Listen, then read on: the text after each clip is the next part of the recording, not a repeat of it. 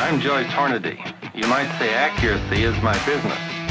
I make bullets. You are listening to the Hornady Podcast. Thanks for joining us and enjoy the show. Hello, everybody. Thanks for tuning into the Hornady Podcast. I'm your host, Seth Swierczek, and today I've got a full table to my left, Marketing Director Neil Davies, and across the table, the Assistant Director of Engineering, Joe Thielen, and former Senior Ballistic Scientist, Dave Emary. Guys, thanks for coming on the show. Good to be here. Good to be here, buddy. Yeah, this is an important show because not only are you guys uh, had your hand in a bunch of cool stuff and products and all of this, there's a little product that that a couple people have heard of uh, called the Six Five Creedmoor.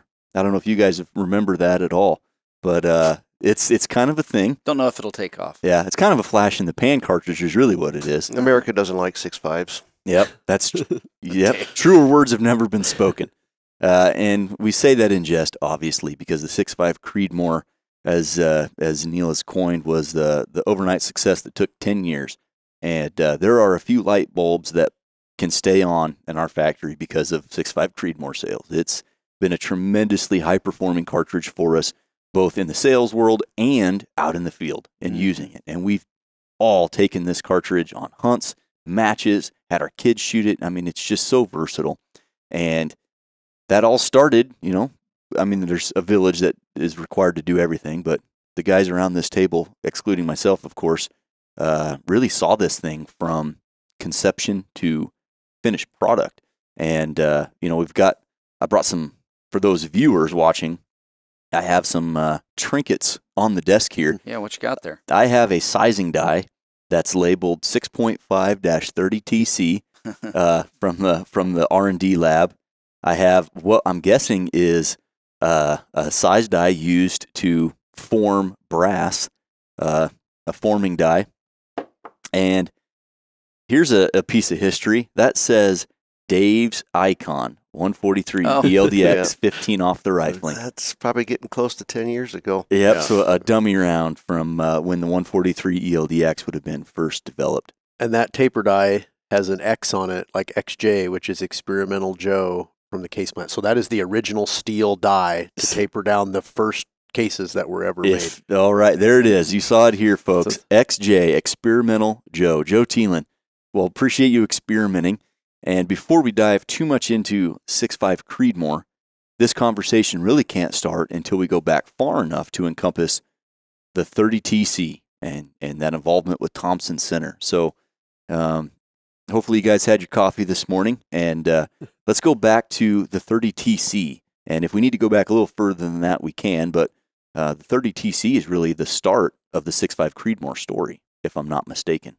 Yeah, that was 2004. And Dave, I didn't Probably five or six. I didn't work five here or six. till 2005. Creedmoor was was seven. Yeah, but We we, were introduced it working on it in 748. six. I'm Yeah. thinking it was, yeah, it was in the four five range. Okay. but 'Cause, um, it yeah, was, it was right when I started when we were, but the TC had kind of been done because I didn't really do much development on that case. Okay. So right around, like Dave said, 2004, Five- 2005, you're yeah. working on the 30TC. And what was the impetus to make another mid-sized 30 cal cartridge?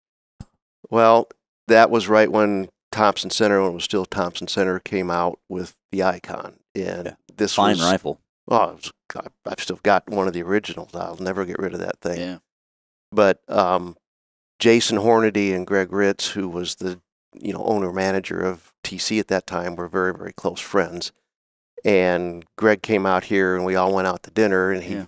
Announced, "Hey, we're chicken coop. You, you were part of that too, Yeah. weren't you? Yeah, we were at the chicken coop, and you know I'm doing this new rifle and it's all this great stuff and everything else, and I want my own branded cartridge, and it turned into you know what can we do to try to give this thing some sort of unique characteristics that it might have some kind of a angle to be successful mm-hmm. and we decided to go with you know a short fatter minimum taper cartridge can get long ogive bullets in it if you wanted to make a at the time we were even thinking maybe you could even possibly get this thing in a short action instead of just a standard length action Right.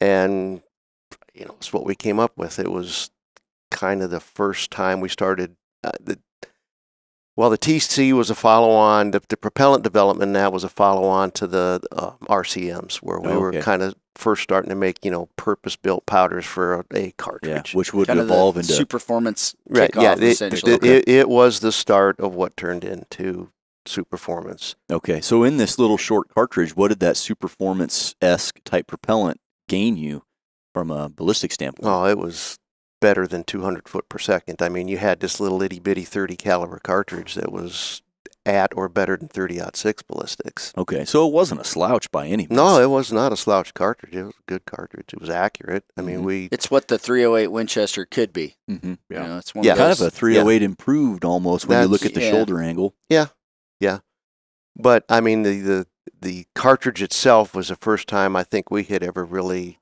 seriously dabbled into you know a, a minimum taper, sharp shoulder, Hmm. shorter cartridge in order to give you room for getting long ogive bullets in them. Okay, Which that's an interesting point because from that, then, and so many other things that have come with, you know, that's been the recipe for It has. success for a bunch of the cartridges And, that we did introduce. like Neil said, it's it's kind of the recipe. So I'm guessing the uh, chamber dimensions and tolerances was use that same recipe that we're still using today from a dimensional Mhm. standpoint. It did, as I recall, we had a. Joe, you got to help me here. I think we went with a one thousandths over bullet diameter throat in that thing. On the 30? Yeah, Yeah. and that you know, in order to try to get better accuracy. And as I recall, any of them that I ever shot were really quite accurate for Yep. an out of the box factory rifle. Awesome. Well, you did a, a good job with the cartridge, and yeah, with the prevalency of 308 and 30-06, it, it was up against some stiff competition. And then, as the story goes, uh, Thompson Center, um, I don't know if they shrugged off the cartridge, but they were sold, and that cartridge became slightly less popular. Yeah, another another fun fact that you know on the Icon gun, this it's a real small world, but so George Gardner had something to do with uh, helping them with the design for the Oh, really? Icon action. Oh, Yeah, I didn't know that. And Yeah. those are slick action, 60 They're- degree throw, and they were elegant. They're a elegant. nice Oh gosh, it's a they were smooth. they were on a roll. They had the Yep. Warlord too, so they had a full kind of uh, PRS style, but well, not Well really back then, that, but yeah. yeah. Field match kind of thing. yeah, flat on the bottom of the receiver. Yeah, it's real cool action. Well, the 30TC got a lot of treatments that we give our current cartridge development, and it was kind of the founder of the feast, if you will. So, Dave, Joe, you guys are working on the 30TC. At what point was it an immediate? Hey, we need we need to start shrinking this thing down, uh, or when did that step down to six five really occur? Well, and what was the the parent case for this? What what did you base it off of? Well, I mean, it was a shortened 308. Yeah, that's all it Yeah. was, right? Yeah. On Oh. the Creedmoor. Y- Or, yeah, and the y- 30. and the yeah, 30. yeah, Yeah, It, wa- it was a both sh- it was a shortened. Real quick, I know I just asked about when you necked it down to six five, but before we get there, um, I want to hear your opinion on, uh, or not your opinion, but why you selected the thirty degree shoulder angle. Uh, I know we get this question a lot, and I know how I answer it, but I want to hear how you answer it because there's a lot of people that'll come up to us at trade shows and stuff, and why is it not forty or thirty five? Why'd you select thirty? So 30, um, when you're forming cartridge brass and making cases, the when you get a shoulder too steep, Mhm. you get fallout. They don't form as well. It's harder to keep the necks concentric in thickness and all that because the material does not want to flow around a sharp corner. Okay, So 30 is a very, happy I'm going to say a sweet spot. Yeah. It heads, so the cartridge head spaces positively, head spaces very well. It doesn't grow that much from firing to firing because then you got to trim your cases all the time. So match shooters, you know, we're busy loading a lot of ammo. And then number three, and probably more importantly, you can form a lot of good quality cartridge Okay. cases very consistently. Yep, and that's uh, it's probably you that that uh, shared that with me. But for the listeners out there, that's why you'll see the 30 degree shoulder on most of the cartridges that that we release. I think probably since this one. I, I've written on that in a couple articles too, and just you know, probably where the rubber meets the road. It's like as a mass producer, you get a lot less scrap with a 30 Yeah. degree shoulder. Doesn't want to hunch. When What's the start- six five two eighty four shoulder? Uh, 'Cause we always- Check that 32 or right? 'Cause- 5. Because we something. always had problems. Yeah, It's- it's, it's a- they're, it's- they're hard to make. Yeah. It's a little steeper. Yeah. Yeah. And uh, Neil, while you look that up, uh, Jamie just pulled this up for us. Rather, Preston. Uh, uh, it's a 308.5 SAAMI spec on the throat diameter. Okay, so it, the- it was was five over. Yeah, five it tenths was over. five tenths over. Then that was the first time we. Well, the 17 HMR was the first Really time we started did that. but we applied this. To a center fire. Yep. and it definitely took off. So you've got the 30 TC. The accuracy is great. Uh, you've got what became Superformance propellant, and then you when did when was that? Okay, let's neck this thing down. 35 degree. 35. 35 on Yeah. the 65 284. Hard to make. Yep. Yeah. All right. So when when was it that it was like? Was it instant? Were you always because Dave? We know you're a tinkerer. We've heard this. Were you working on the 30 TC and the whole time going, man, I'm going to neck that thing Oh, down? No, no. This no, was a- uh-uh. Are you gonna the Camp Perry? writ- Yeah. That, Well, it was, That was the- 2006 at Camp Perry. We Joe and I went And and, Neil. shot and right. You were in the you were in the there. condo. Yeah, with Dennis DeMille Yeah, was- and uh, yep. Greg right. Yep. We we went and shot the service rifle week at Camp Perry, and Dennis DeMille was there. who, Of course, was a very good friend of all of ours at the time. He was a general manager for Creedmoor Sports, and he had been competing with the Tubb 2000 and 6XC for three, few years. four, In- five years. in NRA across the course. Yep. Yeah. And we sat down one day after the competition. He said, I am so frustrated with this 6XC cartridge because I'm just, all the loading data out there is, far as I can figure, too hot because I have hard bolt lift, I have drop primers, I have pierce primers. And he said, I'm just, I'm fed up with this thing. I want something where I can go in any gun shop and I can buy an off the shelf round of match ammo and put it in my gun and go be competitive. That's a tall order in that 2006. Oh yeah, time it was. Yeah, it because is. you did not win those matches without hand loading. But I mean, he was sick of buying brass, depending on whatever brass he could get, sizing it. Yeah, and it's loading, a Wildcat. and it's It a- wasn't- yeah, So he went through a list of kind of performance parameters that he wanted, and again, ease of loading, commercially available dies.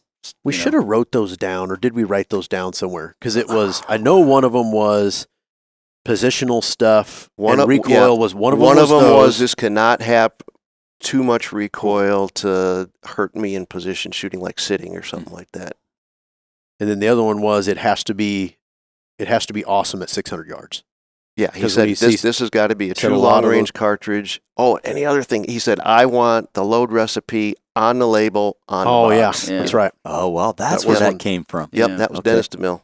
All right. But he didn't. He didn't. There was no design characteristics. It wasn't. was- that it no, he to just a said performance six, a six five, a thirty, or whatever. It was He was didn't never care what it was. It was just These are the these are the Performance. performance parameters or characteristics, and I'm I'm looking for out of a cartridge that will work great for across the course shooting. Yep.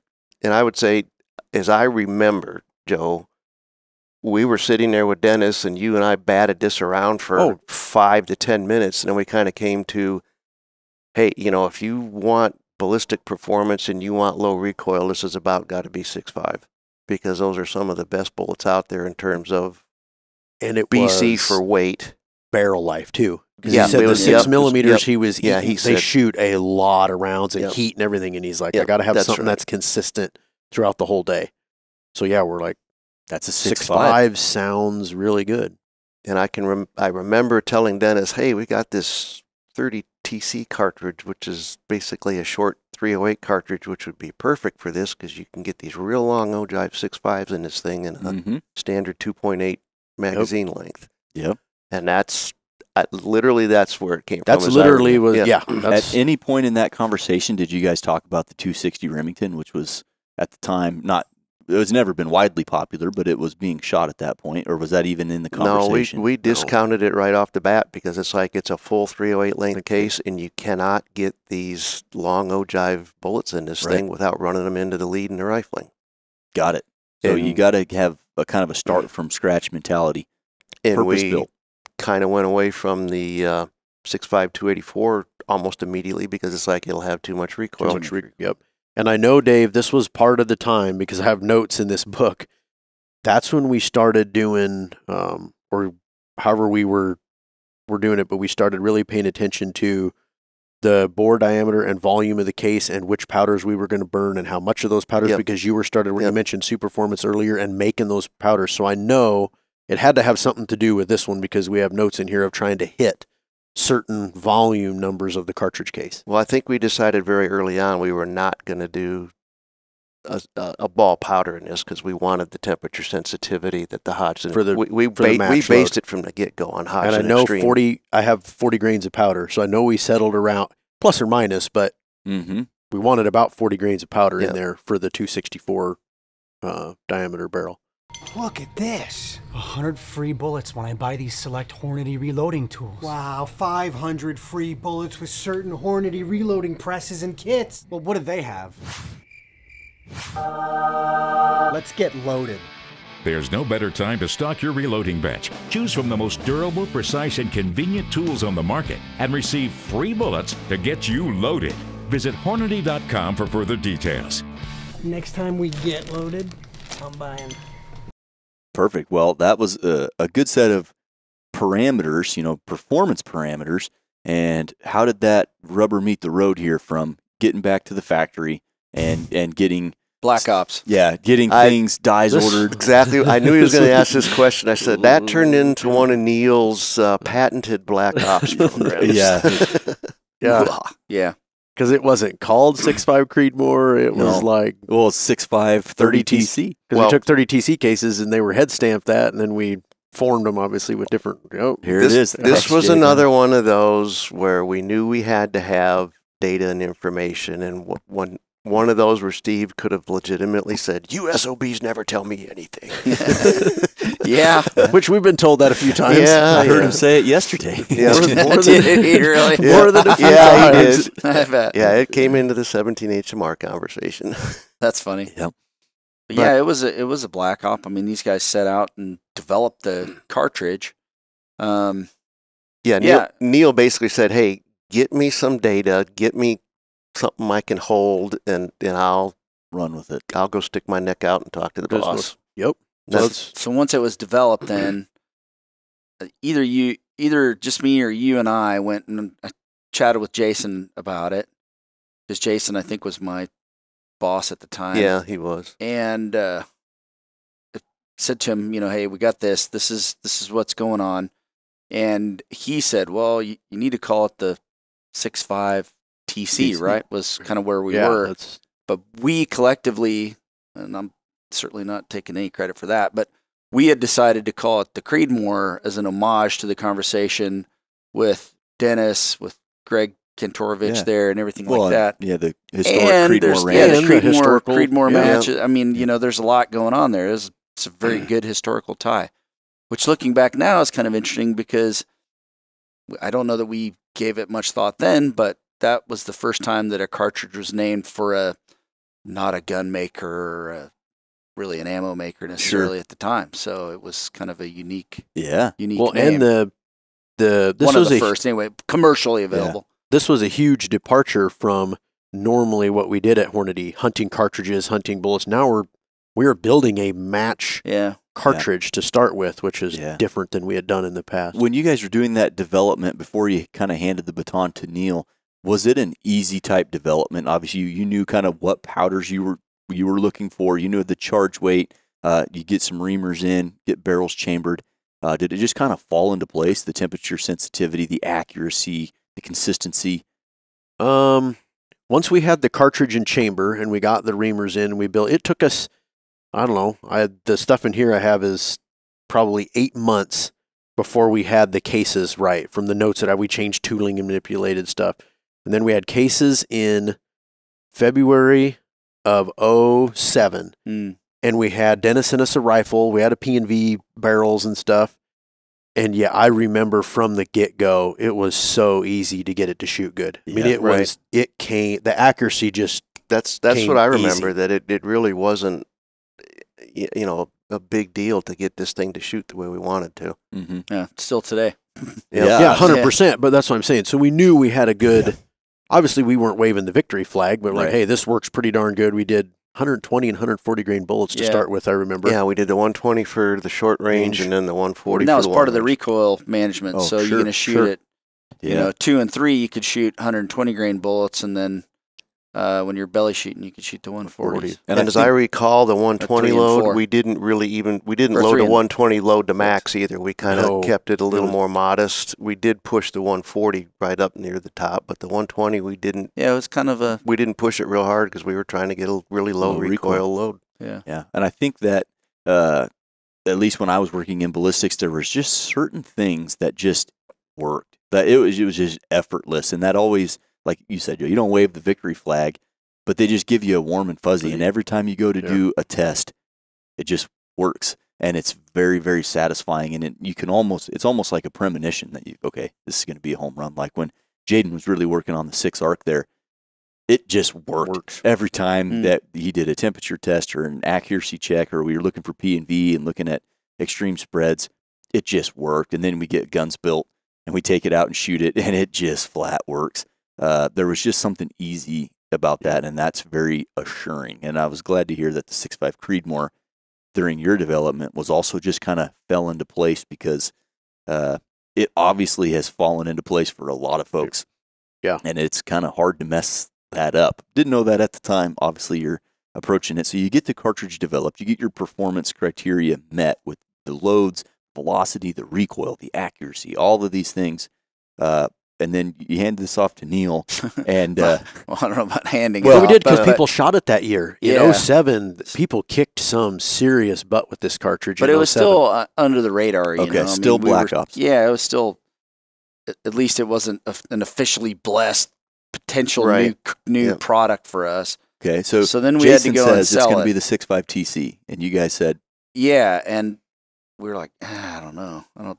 That's not that's not our vision anyway. Yeah. Um, so anyway, that was you know we I don't know I don't know how we fended that off to be honest with you. I don't I don't just kick the remember. can into well, I as I recall, it- Sometimes the trick is just have some brass that's head stamped. yeah, Yeah. and maybe Yeah. and Yeah, maybe maybe- we did yeah, that. I don't I know. don't know. That- Worked oh, for this- me. I don't know what you're talking Oh, about. this doesn't get. I, I think it, didn't it kind of go that Dennis Dennis did have some pride of authorship with this, which he justifiably should have, and he kind of said, you know, I'd really like the Creedmoor name on this, something like and that. and we went I to mean, to Jason with that, and he said, oh, all right, I think so. And then and then he said, "All right, now you, you got to go down there and talk to Dad." yeah. So I was like, "All right, He said you, not we. yeah." well, so I, he I, I don't know. He was busy, but it was like Yeah. right. So our kind of our product intro timeline is typically right around the. Well, it's not really the intro, but it's kind of when things become officially official. Is for the what was then Primedia or Intermedia, now OSG uh, editorial roundtable, Okay. which is uh, usually the last part of July or first part of August. So now it's the we're going to make this real by talking to people outside of this building and maybe a select handful of people. So now we got to make sure it's cool. So he said, You need to go talk to dad. I'm like, All right, cool. Well, I, the one thing I knew was historically in the past, when we do a cartridge, it's, it's always in conjunction with a commercial firearm manufacturer. right. And that's an easy way to get things rolling. So, like, ah, what are we going to do here? Well, I was really good friends with Dustin M. Holtz at DPMS. So, and he, that was Randy Luth on DPMS back then, and just a great group of guys. I still to this day have immense amount of respect for Randy and what they did for ARs over over their tenure. He's a great guy, and uh, and um, Dustin too. So I called Dustin up. I'm like, hey man, because they had a they had a AR-10 and 243 and obviously 308, and they they they weren't afraid to do different things. Okay. they just Not afraid they- to be different. uh, it's just a barrel. I mean, a barrel and a few other, you know, things. I don't know what they'd have to do to a gas block necessarily, but anyway, so I called him up. It was really quick. Hey, man, we got a new cartridge. It's a six five Creedmoor. Blah blah blah blah blah. Would you would you be interested in chambering it? He goes, Yeah, sure. Just like that. So Off the cuff. yeah. I was like, okay, cool. So now I've got this in the hip pocket. I've I've got some some uh, commercial manufacturer that's willing to chamber a rifle in it. Mhm. So then Dave and I, because we need reinforcements. yeah. I, rem- I remember him coming down the hall and going, "Come on, we got to go talk to Steve." Yeah. Okay. so we went into Steve's office, and um, yeah, you know, you've got to sell him on it. And uh, ma- interestingly enough, he when we, we told him about the cartridge, said the Tubb 2000 we can chamber that, and obviously uh, DPMS was interested in doing it, would do it. He never said no, and he never said yes, proceed. What he I said okay. yeah, what I remember him saying, he, he said, "You guys realize that you know no America has really never embraced 6.5 Yeah. caliber." He said, "You guys know that, don't you?" Well, yeah, but this is a special one, Steve. Yep, yeah. It's like so, so so we we proceeded from that point forward and and it and it gained momentum slowly over the Sure. years obviously we can chat about that Yeah. too but so it started off as a match cartridge well i mean okay it flies well so what's wrong with a cartridge and a bullet uh, a bullet that flies well it's, it's going to have a great application on the hunting side too Right. right, so uh, it wasn't sh- uh, shortly thereafter to uh, see people start using it for hunting applications. But the one thing you can always tell, and, and I think we've talked about it in the past, is if you want to know if a cartridge is going to be a good one or not, is when you go up and down the hallway there in Hornady and people have rifles chambered for something. yeah, And it was like everybody had one. Everybody knew that it was the deal. Um, so yeah, it started off kind of in a in a niche world there on that match side, and then the AR side kicked off a little bit because that was, you know, the Brady bill just sunsetted in 04, so ARs were the rage. Everybody was doing everything AR, AR-15, AR-10, and uh, it started gaining momentum because you had not just DPMS, now you had other companies that were starting to chamber it, but it kind of stayed in that ilk for a while okay, until I think Ruger, Steve Johnson, uh, was a was was our PR guy back then, and he was good friends with some of the folks at Ruger, and uh, just you know they they saw the benefit of the cartridge and they chambered it in a in a hunting application. I don't TC may have too. I don't recall, but that but TC kind of changed It then changed too. right then. Yeah. right, yeah. that was when Smith and Wesson bought them, and Yeah, I, I so- believe they did. And then But it was a short period of time, right? Right. It wasn't very long. Yeah, and then uh, Savage picked it up fairly quick after that Yeah. too. So now it's starting to cross pollinate into the hunting side Right. too with different bullets. I mean, we had SSTs and Yeah, two Uh, performance interbonds even. Yep. yeah, Yeah, and I was actually here just uh, last year. I think I was talking to Ken Byers of Byers Media, and he Yeah. remembers having a conversation with you, Dave, talking. If we've got this cartridge and w- this this ought to be perfect, we really need to get up there into South Dakota and, and take this on a deer Yeah. hunt because this is this is the next best thing. Well, I the one I remember the most probably from the hunting standpoint is when we did the 120 GMX and put it in that. In South Africa. Yeah, Yeah. That changed. and, that and, shifted and gears. most Yeah, of the yeah. riders were like, "Man, oh man, does this thing ever give you terminal performance Yeah. on pretty big animals?" Because it was a little bitty cartridge. Yeah, it was a little bit. I, I can remember my P, PH going, mate, what are you going to do with that bloody little thing? Yeah, the you know, little- and, it- yeah, because like- everybody goes there with some Magnum Yeah. cartridge. and, and, and he asked me, you know, well, can you shoot the thing? And I, well, go put a target on the fence over there. And I, Yeah. off of his headache rack, I shot a three shot cluster that were all touching. He goes, bloody hell, mate, that's pretty good. You know, Yeah. 'Cause most of you Americans can't shoot like that. so there was that initial period. People are shooting it in matches. You know, the Camp Perry stuff. The PRS, not a thing at the time, uh, but those sniper matches and field style matches. You know, in the 2007, 8, 9, 10 time frame, becoming more and more popular. You mentioned George Gardner with GA Precision. Yeah. That, that kind of sport uh, growing. And then you see the shift into the hunting world with the Creedmoor, where like you mentioned, Dave, the 120 GMX, the 129 SST, and it probably had a, a, a little growth burst in that time frame, maybe 2010 to yeah, 2013 yeah, that's about right. or Yeah. so. I would say 2010 was right around when it really started to take off. Yeah, and I mean, yeah. So the hunting stuff kicked off. Um, yeah, it is. It's the it's the overnight success that took ten years. Um, but it was just incremental things, and people would, people or sports or disciplines would kind of discover it, but at different times. Oh, sure. Um, but yeah, once that field shooting stuff kicked off, that was a big one. It Mhm. just made perfect sense. You didn't have to load ammo. I mean, you certainly, certainly could. could because the load was printed right on the box Yeah. for the longest time. I can remember some of the first hunting articles that were, you know, 10, 11 maybe, and the guys just kept going on and on about how, boy, this is just such a comfortable, easy cartridge to shoot. And they said it is just phenomenally accurate, you Mm. know, and it's, these bullets are effective. And, you know, why would you, in the 308 30 6 class cartridges want to shoot anything other than this thing because it's just Yeah. so pleasant to shoot and Yep. it's got such long range capability. Yeah, it certainly We does. did. It was a TC. TC did chamber it. The reason why the Warlord. Alpha Brain's kicking in. Yeah. Is uh, we went there with TC Yeah. to South Africa. Mine was Carl a six. Ricker was yep, there with mine us. was a six five Yeah. Creedmoor. Yeah, and I know the Warlord Aaron like you mentioned was Yep. chambered in six five. Yeah, so I mean,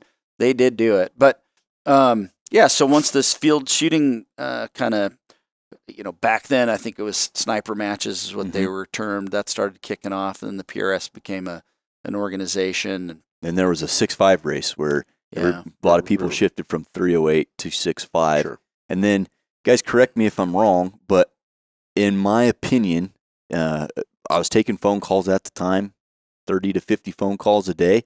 There was a marked shift in 2015 with the ELD match and the ELDX Oh, for that matter. yeah. But the Creedmoor, uh, the phone call volume and the request, and I need more information on this. Why didn't I hear about this before? How long has it been out? the six five or just that? No, six five and six five Creedmoor specifically. Oh, I feel like once that ELD match bullet came out in the 140 in our in our match ammunition, it it felt like that was a knee in the curve that Well, another skyrocketed. another thing that happened was so all these rifles that people were shooting, you know, Robar, uh, GA Precision, um, you name it. Some of the some of the HS Precision, all these folks that were making rifles.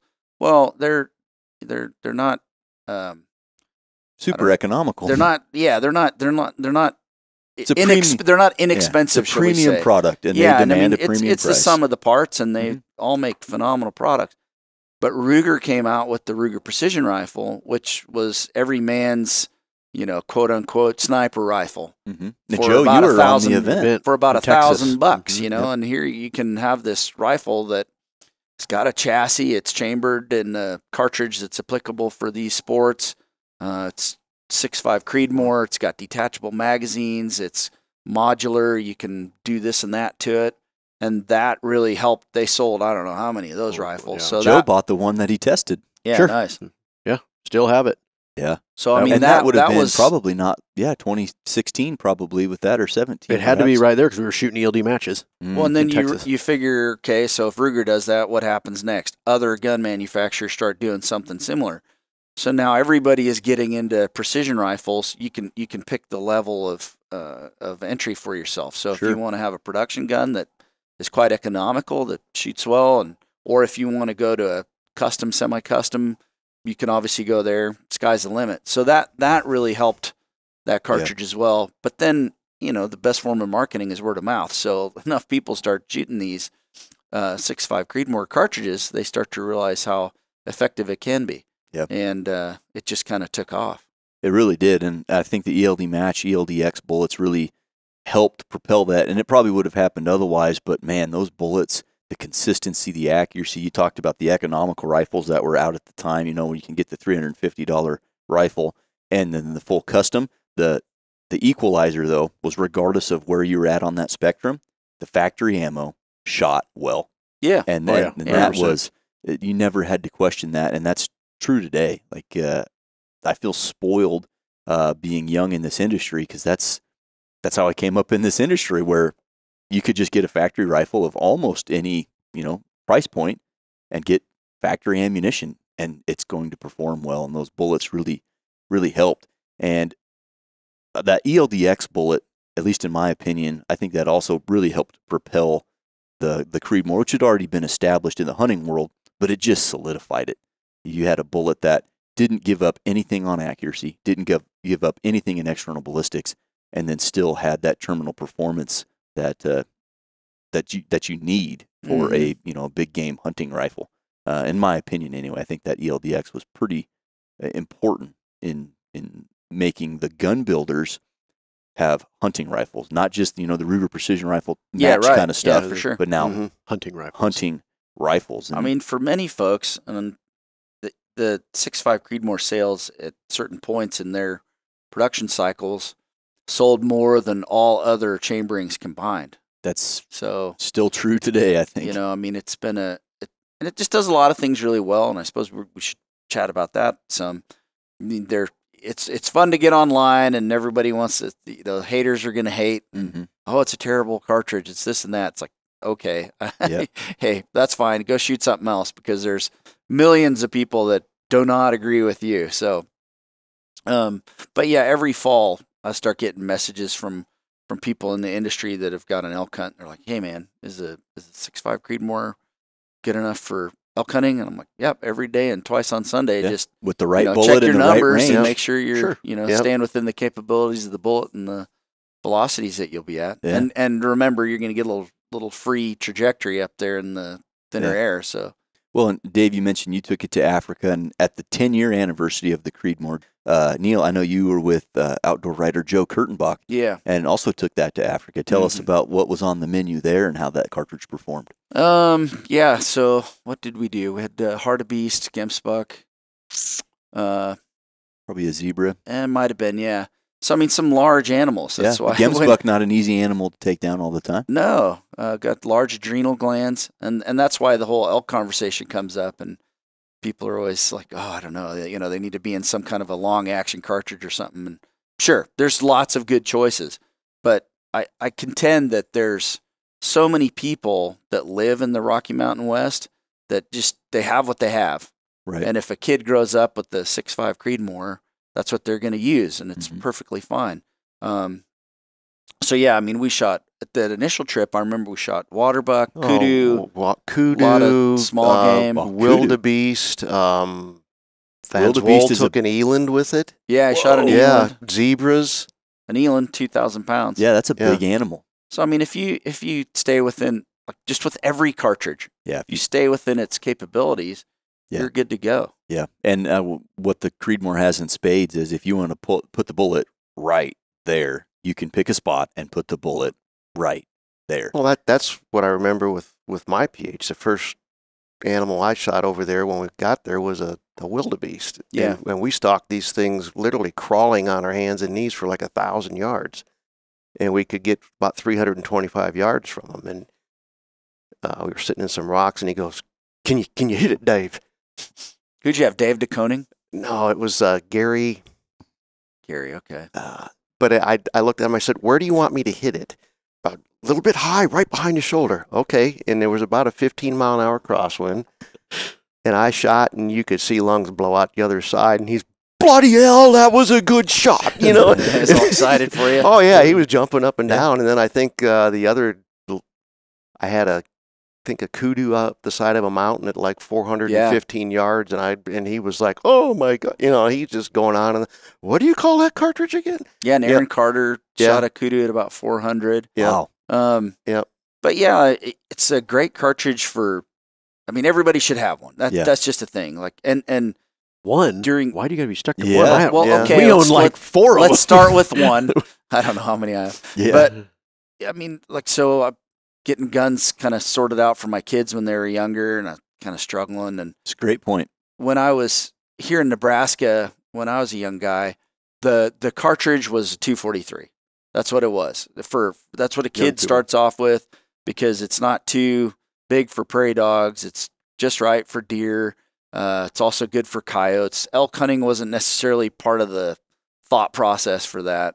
So it was a 243. So I was like, you know, just from nostalgia standpoint, I was like, ah, I should maybe get him a 243. But then I'm like, ah, it leaves a little on the table.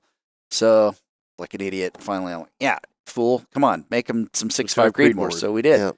and there's no looking back because they've got something that'll, again, within the limitations of the cartridge, it'll do what you want it to do. Yep. Um, and it's it's not too yeah okay. prairie dogs. Well, I've used them on prairie dogs. I have Oh, too. yeah. Yeah. Out to about a thousand yards. yeah, yeah, yeah. I shot one with my DPMS AR-10 in Wyoming. It took me all morning, man. I don't know how many rounds I I must have shot with a like a 10 power scope. Anyway, I got one at like 800 yards, but it was just by luck, man. But, yeah, volley fire. So they'll work for prairie dogs. Um, great for antelope, great for deer, and then it's certainly applicable for animal like elk Again, with the right and bullet. plains game. Right. Yeah, the You know, plains game. the right circumstances. So you mentioned the the kids thing. That that right there, you know, Joe, you've got yeah four young kids at home, and that's just a perfect cartridge that's capable. It's it's certainly authoritative on on our Midwestern deer, and it's not knocking the snot out of a No, 14 year old girl. No, No, they can go shoot this gun for hours. Mhm. All the kids do. And we own like we have like five Creedmoors. Truly, Christina shoots it. Heck, I like shooting it. How do you Yeah. not? I mean, I know Dave Yeah. likes shooting it, but Yeah. my kids can shoot it. They start shooting it at like 10, 11 years old. Put Mm-hmm. suppressors on them. It is great. It's great. So it just, I just love how versatile it is. It does so many things so well, and it's so accurate. That's the I mean, the crux best the best story I have for that is I did long range hunting classes for military down in New Mexico. when I was there, and part of that was was we could get very very high angles of fire at very very long distances. And I had Fifth Special Forces group come down, and they wanted to go shoot long range at high angles of fire. It's a difficult task. Oh yeah, and the right in the middle of the uh, the area that the whole test facility was in was a 7,200 foot mountain peak, and literally you could take about 10 yards to the north, and you'd step off of you know a 1,200 foot cliff. yeah, And I had a target out there at 1,550 yards at about a 27, 28 degree downward angle. And these guys all came with 300 wood mags. And they were banging away for 20 minutes trying to hit this thing. And I don't think anybody ever hit it. And I just sat there watching and slowly set up my TC Icon hunting rifle. Woodstock, right? Yeah, Woodstock on my bags and watching the wind for five, six minutes and got out Hornady sh- 4DOF. shameless marketing, Hornady Ford off, Yeah.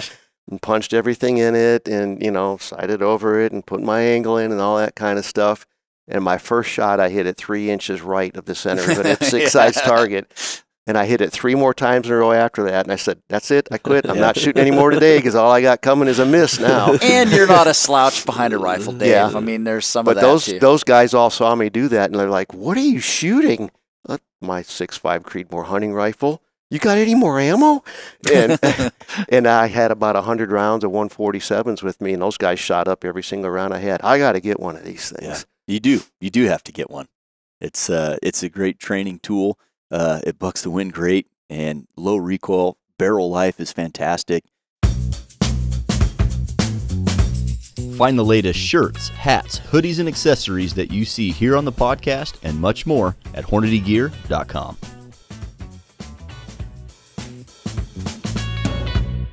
Um, we've talked a lot about hunting on the precision rifle world. You know, early on in the 2012, 13, 14 timeframe, it felt like it was a 6.5 race. There was a lot of people going to 6.5. Hmm, And then in sixes. probably 17, 18, 19, then it was a 6 millimeter race.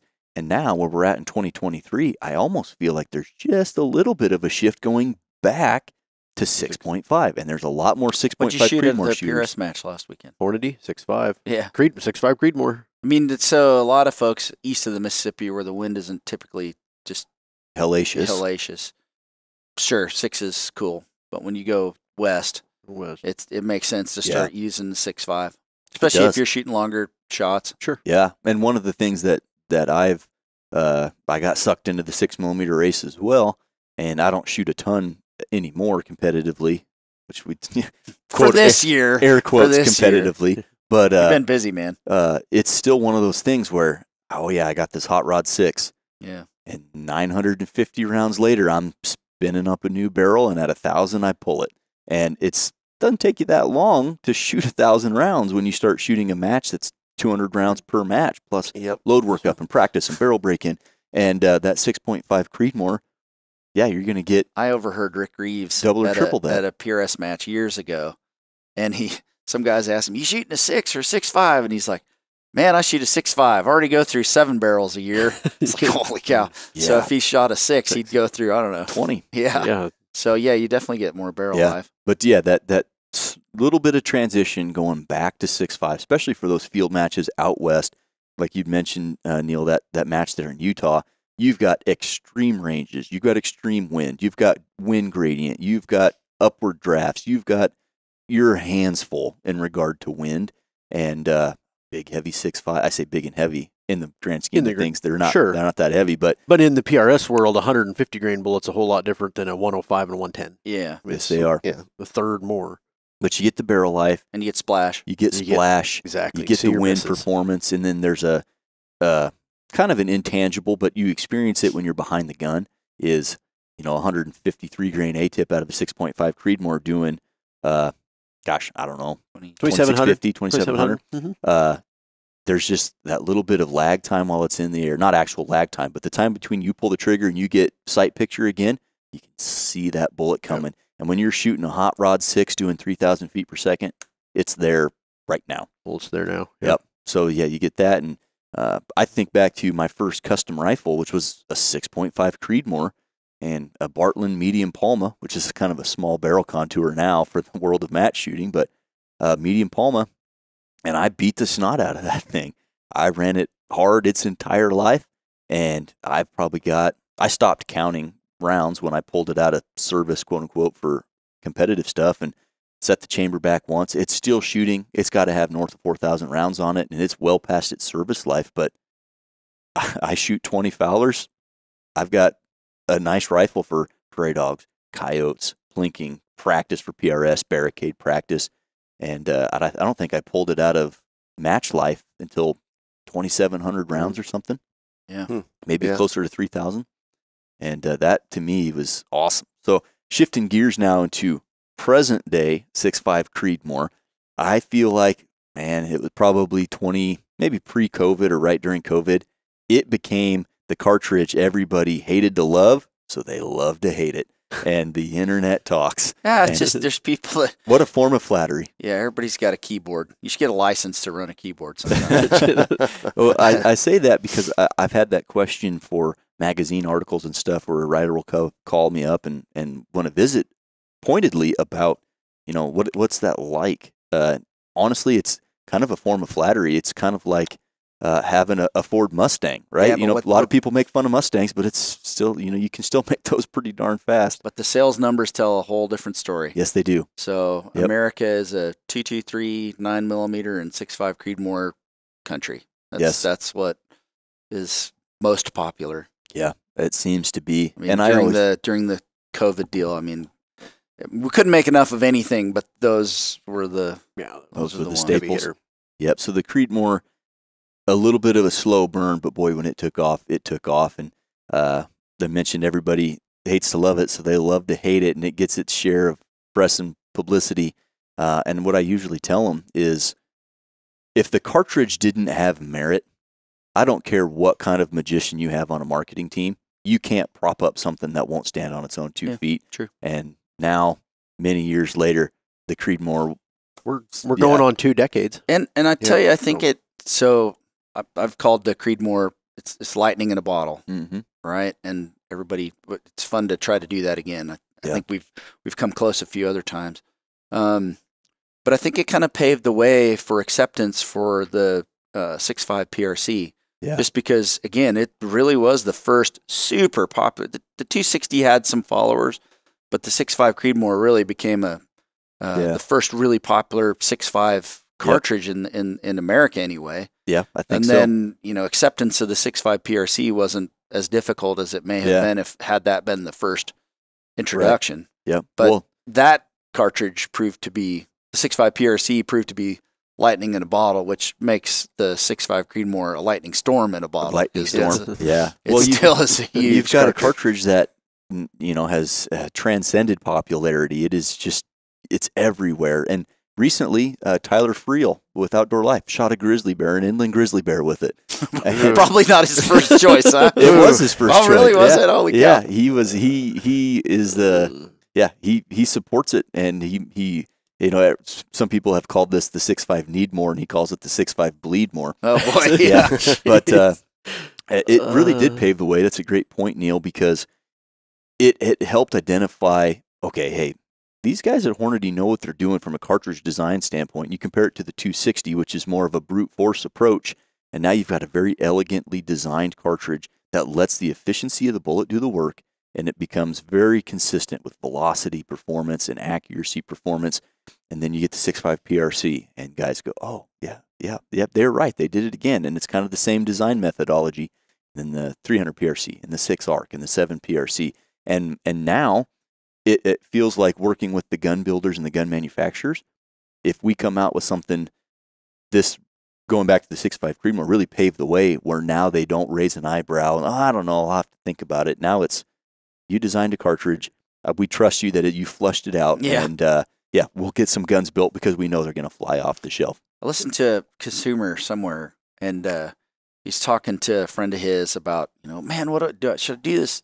Should I do a six five Creedmoor or a six five PRC? And it was just such a simple conversation because he said, man, just just consider the six five PRC. It's just a six five Creedmoor Magnum. I was like, well, there you go. That's just Yeah. a simple deal. Yep. So Yeah, yeah, I, I guess I would say, you know, the, the we came close on the 30 TC, but you didn't have the bullets at the time. But the 6.5 Creedmoor was really the first one where you, you went against the norm, which is, hey, you know, to have a successful cartridge, you got to have a big case capacity Drive the heck and, out. and Yeah. drive the heck out of it. And we don't care about BC or anything else. You just make this thing go fast and it'll and sell. inefficient and Yep, we- inefficient and yeah. high recoil and low BC bullets and all that kind of stuff. It was really, I think, the first time the industry started making the shift to no, you want an efficient cartridge, which means less capa- case capacity, and you want to give yourself the room in this design to get really efficient, really high BC Mhm. bullets, and then the bullet does the work for you downrange. You don't have to drive this thing at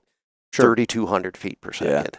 it seems so simple when you say it, but there are still companies that design cartridges that they're Yeah. just fire breathing Jeez. dragons, hot, nasty I speed down the drag Yeah. strip, and and barrel life suffers, shootability suffers, suffers, and accuracy. I mean, the whole word, Accuracy, recoil, all of it, recoil, cost everything. to shoot it, pressure consistency, velocity And- consistency, uphill and downhill shooting consistency. I, I think that's still the old school 400 yard shooting mentality. That's mentality. exactly what it is. And, Dave. You're you know, exactly right. And most of those cartridges are shooting, to use a vernacular, you know, bullets that have a BC of a brick Mhm. because that's all they can get to survive out of these things. And the Creedmoor, you know, there's been a few other six five, you know, fire breathing cartridges come out in the last eight years. Mm. And you look at 500 yards, the 6.5 Creedmoor is caught up and past most of them by then. Yeah. That's a it's a beautiful thing. And then, uh, you know, in current you know 21st century times, we've got 153 A tip, 135 A tip. That you know that just shifts that performance Mm. that much more. When now we've got, I don't even know the right word, but hyper efficient bullet design, and you get those things out of the muzzle. It almost don't matter what the velocity is. If you can get them out of the muzzle, that efficiency of the bullet, you're going to be accurate. You're going to buck the wind. Uh, it's pretty pretty remarkable. And then not to mention the fact that we talked about how the Creedmoor kind of paved the way for this cartridge design methodology and chamber design. It really works. Well, it also paved the way for cartridges like the six millimeter Creedmoor Yep. uh, Yep. to to come along, and that Mhm. was uh, you know a, a pretty you know, wildcatters are going to wildcat, and six five Creedmoor came out. It was pretty well instantly necked down to six millimeter. Um, but uh, what a what a fast flat cartridge that is, and A barrel great, life a suffers a, great little all bit. a great all around cartridge though. But I think I think Dave touched on it earlier that we live as you know, you go back in history, you know, 90s, 80s, whatever. People had more time on their hands. You didn't have your cell phone all the Mm. time. So now we fast forward, and I think one reason why it took a long time to to catch on, so to speak, is now you think about nowadays how little time you have. Everybody has less time. So I don't have time to be tinkering with loading and tweaking my rifle and doing all that stuff. I want to go buy a rifle. I love to go hunting or shooting. I want to go buy ammo and I want to go do that successfully. And this was, if you think about it, this was one of the first packages like Yeah. that. And we've done some since then Yeah. that allowed people's time to be more valuable and they could utilize their time for shooting or kids ball or whatever it was Mhm. and still Yep. enjoy their passion or what they like to do of shooting. You weren't Hunting. spending hours in the loading room to go Correct. to the range and shoot for an hour. That's Yeah. cor- Yeah. exactly. And I think that I think just the world we live in that evolved enough that it helped push this Yeah. you know, I want to say methodology that we've embraced when we design cartridges and chambers where we're intending it for ammunition that we build to work well. You Yep. do not have to be a hand loader to get optimum performance. No. No, you don't. No. And I think back to uh, uh, my father and his first six five Creedmoor, and I put one together for Dad. Never had one. Got some factory ammo, and this was before it was in the white box when it was in the cardboard colored custom Yeah. box, so probably Yep. 2016 maybe. Uh, and got this gun put together, and it was kind of a heavier barrel, but not super heavy. And, and he sunk some money into a, a pretty decent scope and had a rangefinder that would range a thousand yards and a piece of steel, and and went home to the hay field where I did a ton of shooting growing up, and you can caddy corner, you can get 1,200 yards out of it. But dad on his 6.5 Creedmoor and, and me on the glass hit his first target at a thousand yards with factory match ammo Yeah. in a in a semi custom rifle and just just floored him.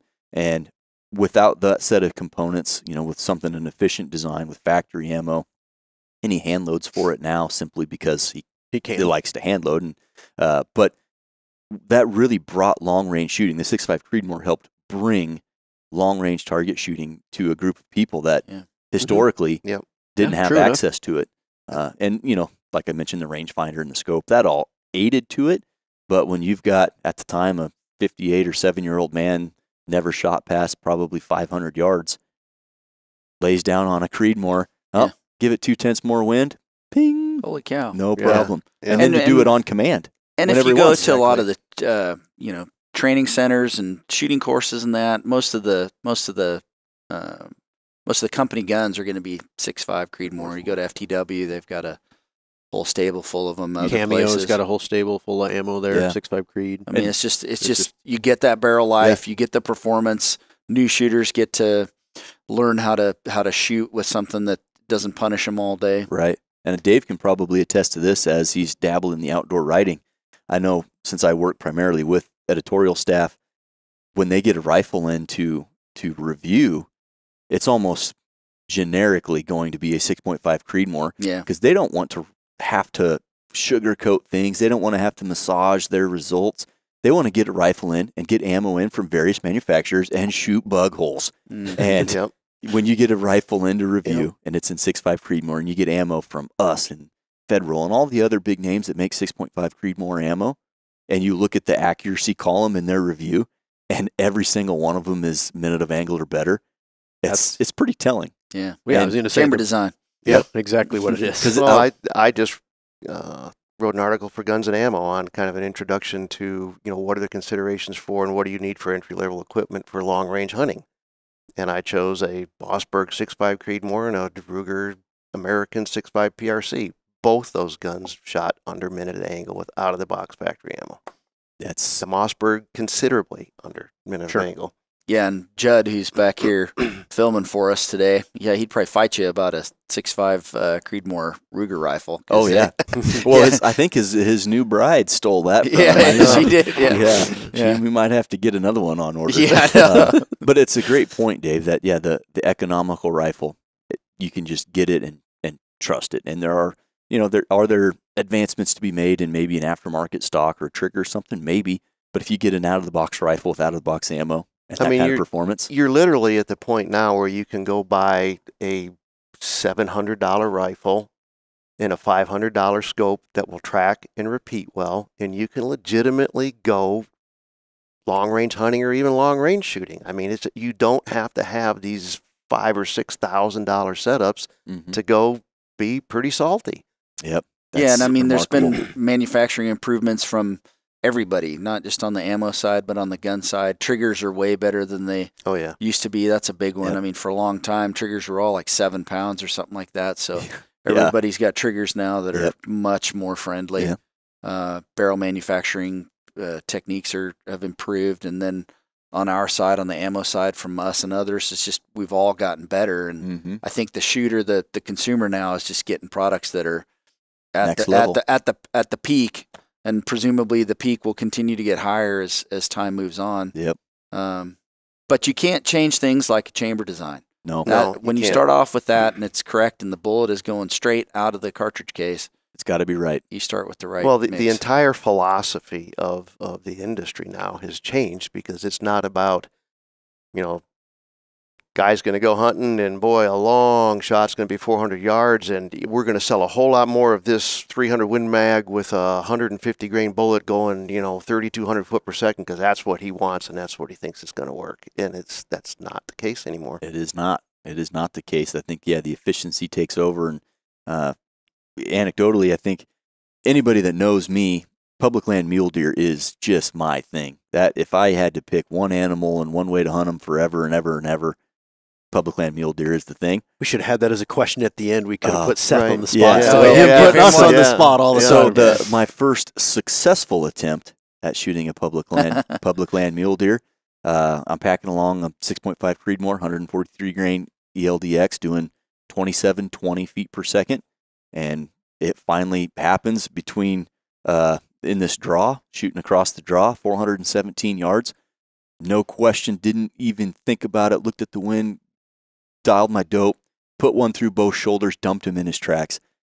6.5 Creedmoor. Didn't even didn't even think about you know the complexity of the shot because I I'd been shooting this rifle for years and it just it was like an extension of my hand and uh, yeah it was a, it was a beautiful thing and uh, that was the first animal that I killed with a 6.5 Creedmoor and it's like I don't know what everybody's talking about that seemed to work pretty good for me Yeah, I had the same kind of experience too. This was probably a couple years after I was out in Lexington on, on Truman's place. Then uh, hadn't seen deer all day, and it was almost, you know, it was dusk-ish kind of time frame.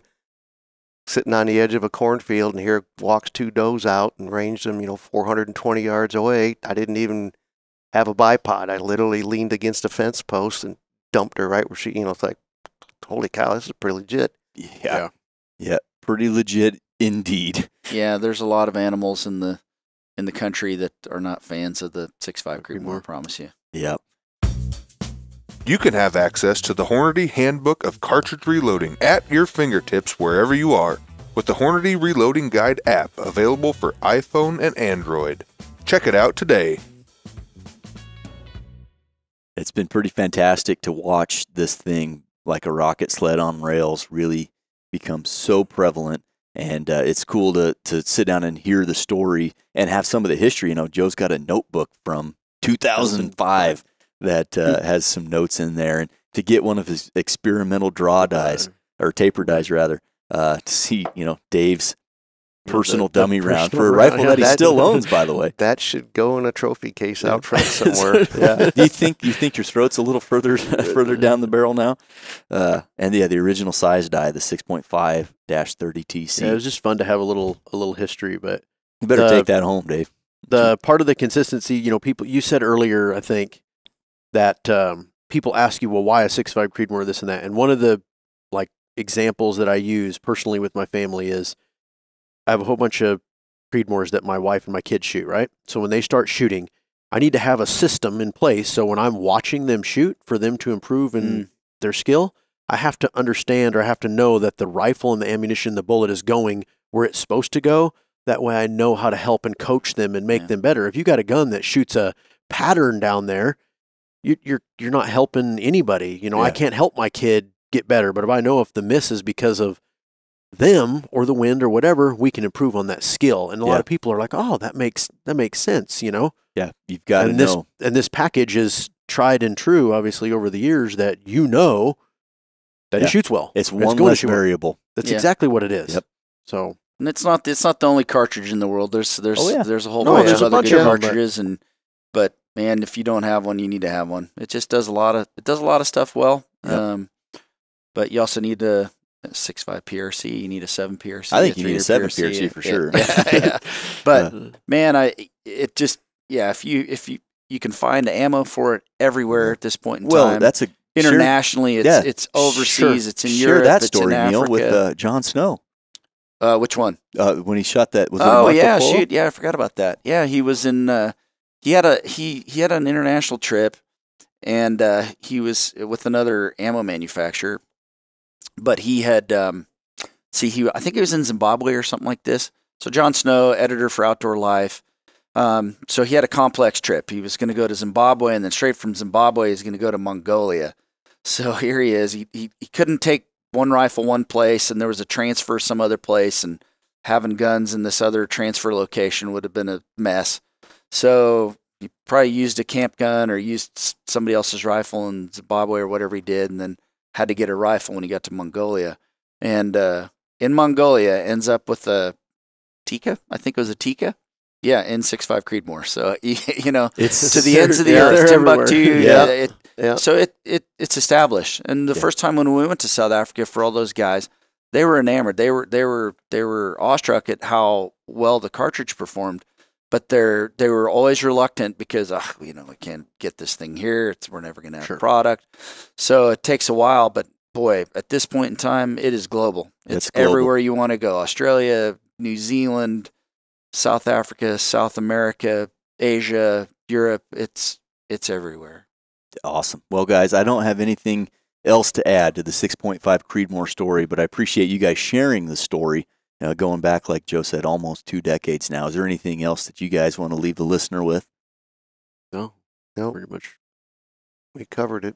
Yeah. It's well That is, covered. that is the six five Creedmoor from Yeah, and these guys are I mean, that's who made it right here. These two guys. I don't know who else. Somebody else was probably involved with a little bit of stuff here and there, but uh, between Dave and Joe, that's that's who that's who made. I'm pretty the thing. sure we did this one because we I know we Yeah, chambered you- the, it we was- chambered bullets the were done. barrels We didn't have to have new bullets, so it's about you know designing the cartridge case, the chamber, and propellant selection. Wow. Well, well done, guys. On behalf of pretty much everybody in the world that's a shooter, uh, thank you for the 6.5 Creedmoor, and thanks for coming on the show. And black ops sometimes are worth sticking your neck out for. Yeah. Indeed, they are. Yep. Uh, yes, they are.